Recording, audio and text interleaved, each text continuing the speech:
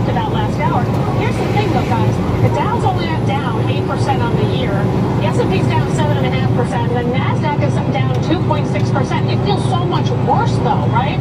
Because of these major swings. And I think we talked about earlier, it's really more algorithmic related, and, and it's hard to get caught up in all of that. So that's why I have said many times you don't want to go all in, but I do think there are stocks and sectors that are down way more than the averages, that have gotten punished beyond belief, that you have to take a especially if they are blue chip, getting them on sale. So just remind them exactly. So I have been picking, and we talked the names that I've been buying. AbbVie was yesterday. That was a name that I've never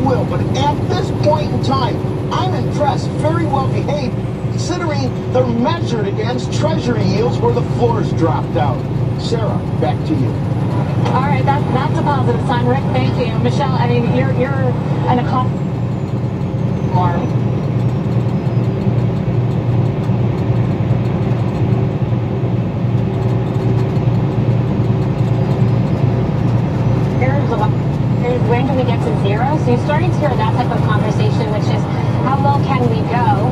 Um, and obviously, the Fed cutting in emergency fashion by 50 basis points, signaling that there's more to come. Market requesting that more should come, um, and the Fed not looking in markets. I think there's a view that we could see further capitulation, further drop in yields at some point.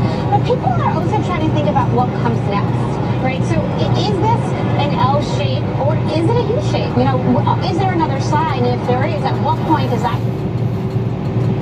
Well, What's your base case?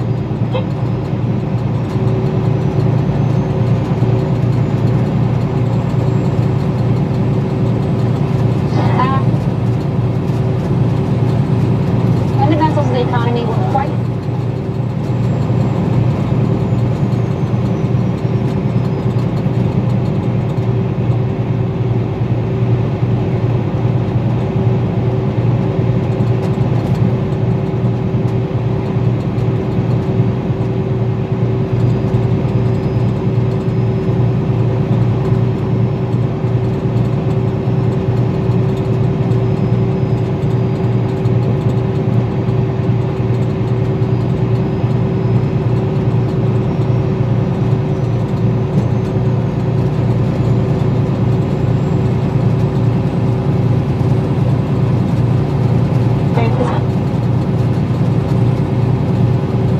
It's not. It's the conditions under which you're getting that.